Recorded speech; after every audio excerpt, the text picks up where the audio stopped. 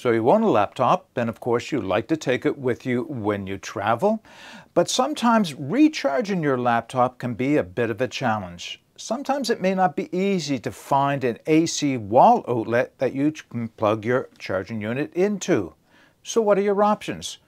Well, one very good option would be to take along a small portable power station like this Blue Bluetti AC2A. But the AC2A has more features than you really need for just charging a laptop. And in addition to that, plugging your AC wall invert wall charger into it means the inverter is going to rob some of the battery capacity away from it. Not the most efficient way of charging your laptop. What other options do you have? Well, Bluetti has considered this, and they've come out with this, the Bluetti X20 specifically designed for charging your laptop. If you're interested, keep watching. Before we get started, I want to thank Bluetti for sending out the X20 laptop charging unit so that I could share it with you. Now, this will be a relatively short video because, honestly, there's not a whole lot to say about the X20. It is designed by Bluetti specifically for people who want nothing more than the ability to charge their laptops. All right, in order to share the features with you, I'll take the camera down to the table, we'll go over it quickly, and I'll give you my thoughts on using it. All right, before we focus in directly on the X20, let me share what else it came with. So it did come with a manual and warranty information.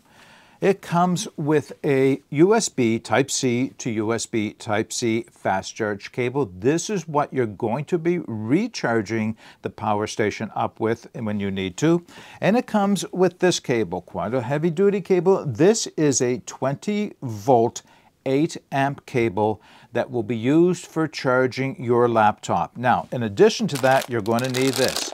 This is a package of 12 different DC adapters, which Bluetti says will work on at least 90% of the laptops on the market today. So we'll put those two things aside and let's bring the power station back in. Actually, Bluetti refers to this as a battery bank and not a power station.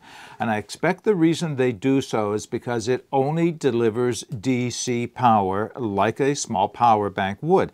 This does not deliver AC power. So when you look at it, the first thing you're going to notice is that there are no AC plugs on the sides. It's strictly a DC power bank. Now, as far as the capacity for this power bank, it has uh, 153 watt hours power stored in it, so it's not a huge battery by any means. Certainly other battery uh, power stations can store a lot more. It does make use of the uh, lithium iron phosphate battery, so they are the safe, longest living batteries, of course and it comes in at 2.3 kilograms or just over 5 pounds. I'll give you the dimensions for the unit in the video description if you're interested in that. Now, as far as power input to the unit goes, as mentioned, it is charged using USB Type-C fast charge or PD cables. You'll have to supply the charger. Bluetti does not send one with it. It will charge at a rate of 100 watts maximum. So it takes a little bit of time, but not too long to charge the unit up if it's right down to zero. Now, as far as the output port goes, there are First off, two USB Type A, traditional ones here. One is a uh, 5 volt, 2.1 amp, and 10.5 watt max. The other one is the QC3 protocol, and that delivers a variety of voltages and amperage for different units. So these can be used in the traditional way for charging cell phones, flashlights, cameras, whatever you need to use. So you do have that flexibility with this. But of course, the star of the show is the DC port here, and the DC port is rated at 20 volts, 8 amps delivering a maximum of 160 watts. And that's what's needed for charging laptops. Well, you don't want to slow charge them or trickle charge them. You want to charge them as rapidly as the device will allow. And that's what that port, the cable, and those adapters are for. Now, as far as the operation of the device goes, very much like other Bluetti uh, power stations, press the button to turn it on.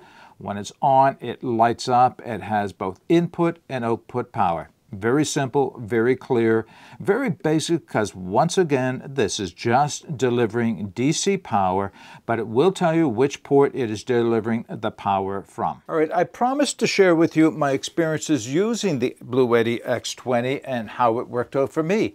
Problem is, is I don't own a laptop. Now, for whatever reason, when Bluetti offered to send this to me, I accepted because I really liked the compact size and form factor for the power bank. I didn't realize at the time it was only going to be DC. Now, I know that's a bit of an excuse, and it was on me that I did not have a laptop to test it with. But I resolved that by borrowing my daughter's laptop to make sure that it would work with laptops as advertised. And it does. So the experience I have is with my daughter's laptop and not with mine personally.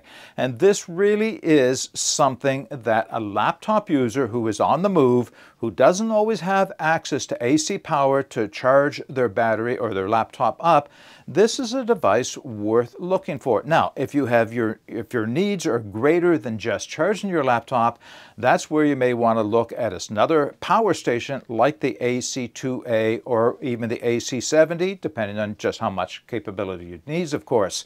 If you're interested in my reviews of the AC2A, the AC70, and the other Blue Bluetti power stations I own, I'll put a link to the playlist and you can take a look and see if one of those are more appropriate to your needs. But but once again, if it's a laptop that you own and that's all you're interested in charging, then why spend the extra money and carry the extra weight that those larger power stations have when in fact this will serve your needs? All right, if you have any comments or questions, put them in the comments section below. I'll be putting all the specifications for this unit as well as the links to where you can take another look at it in the video description. But until next time, get out and explore and take that path less travel because it will make all the difference. Bye for now.